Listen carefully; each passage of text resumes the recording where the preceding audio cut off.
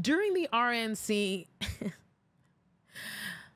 the gay hookup app Grindr crashed in Milwaukee during the RNC.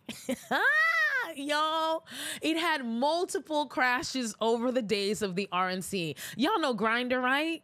Y'all know Grindr, the precursor to Tinder. Shout out to Grindr, by the way. Without Grindr, we wouldn't have Tinder, we wouldn't have Bumble, we wouldn't have Hinge, we wouldn't have none of them. Shout out to Grindr. But for those who are unfamiliar, which how are you unfamiliar? But Grindr is basically is an app for gay people, really gay men, but I'm sure anybody can be on it now in 2024. But it's an app for gay people to be able to like link up with each other. It's a dating app, but it's really known as a hookup app. That's the thing. It's really known as a hookup app.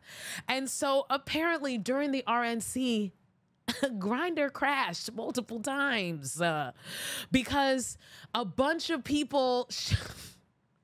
let me just according to newsweek um, a grindr user who did not want to be identified in milwaukee said that he noticed an influx of anonymous users during the week of the rnc anonymous users he said are anybody all the people who had uh, profile pictures with their heads cut off.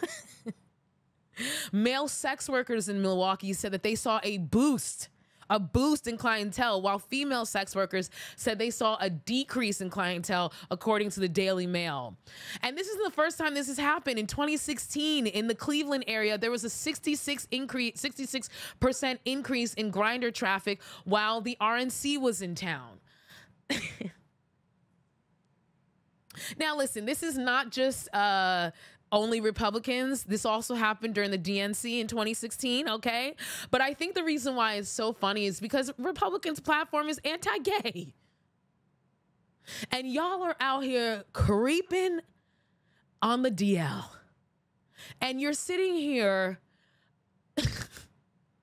voting. I just, I just, I just, how did we get here, guys? We live in the fucking twilight zone, guys. This is ridiculous. It is ridiculous, guys. The hypocrisy of it.